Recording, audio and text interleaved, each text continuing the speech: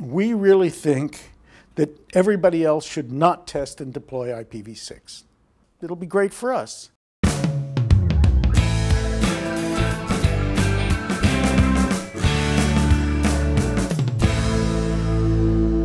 We started in the mid 90s.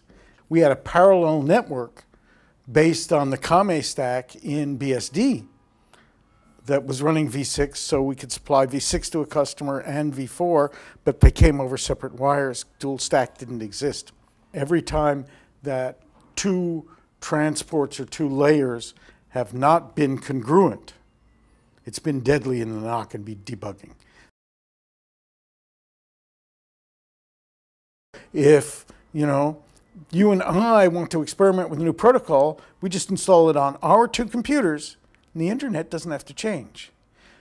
If we put all the smarts, put a bunch of smarts in the middle, and have to put a bunch of NATs and carrier grade NATs and these things in the middle of the network, that kills that.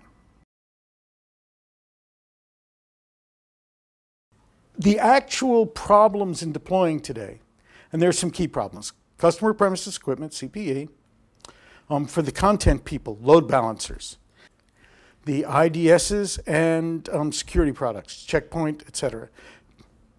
Very poor, very poor. And what the user wants, they, they don't, don't give them a list of features, don't give them data, is it parity with IPv4. All the things I use in v4, I want v6. It's what's being called the chicken and the egg problem um, because the customer doesn't want it. They're never going to want it. They want the results. They don't care how they're delivered. That's my problem, not their problem. They just want their MTV and their email and their DNS and whatever the hell it is. And the problem is because it doesn't make sense economically right now, the V6 backbones are poorly interconnected. There's a bunch of tunneling. There's a bunch of MTU problems. The, as I said, there are these blockers at the vendors.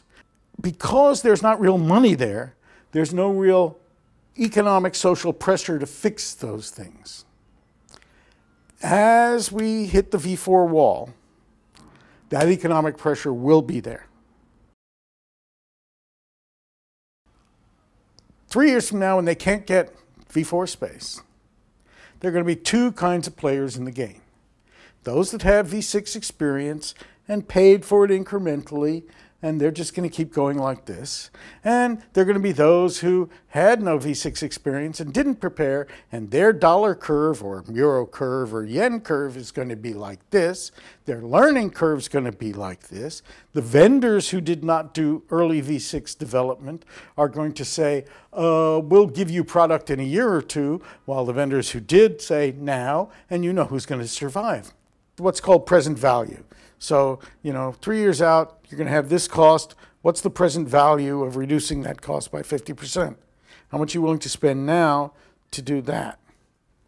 And I think it's worth it.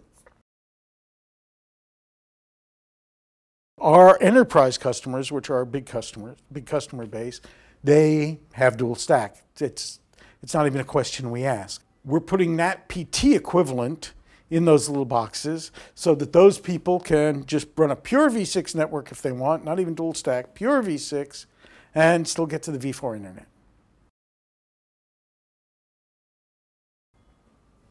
So people should go out and do their front ends. Just, you know, um, um, um, put a little makeup on your face. You don't have to change your life.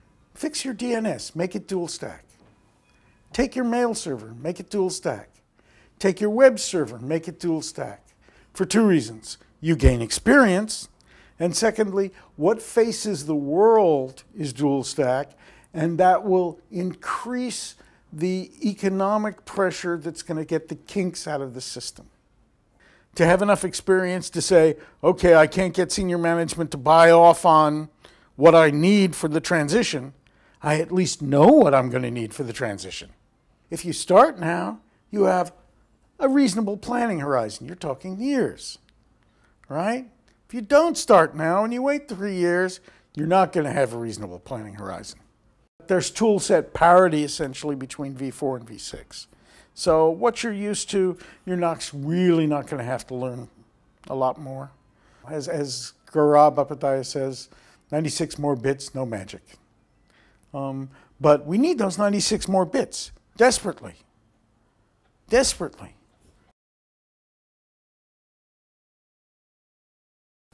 Get the experience. Get the experience. Otherwise, you're going to be blindfolded when you walk into the wall.